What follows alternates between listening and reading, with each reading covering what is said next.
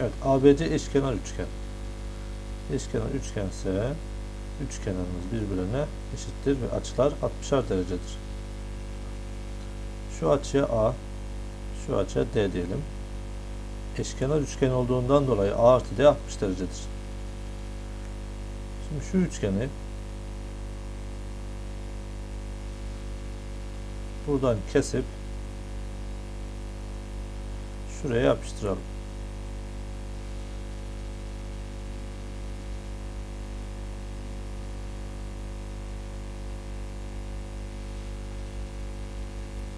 Şurası 5, şurası 4, şurası A olacak şekilde bu üçgeni buraya yapıştırdık.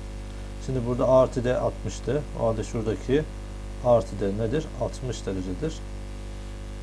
E, tepe açısı 60 olan ikizkenar üçgen oldu. Yani bu eşkenar üçgendir.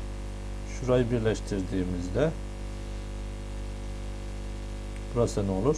4 olur. Yani açımız 60'ar derece olur. Şu üçgene bakalım.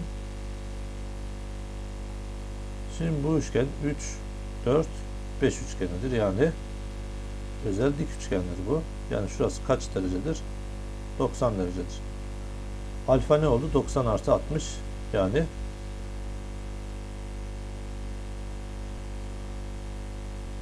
alfa 150 derece oldu.